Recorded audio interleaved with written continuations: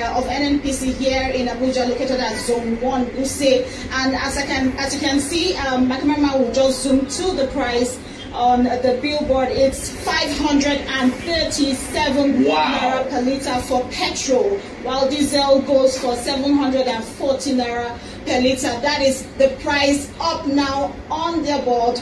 Uh,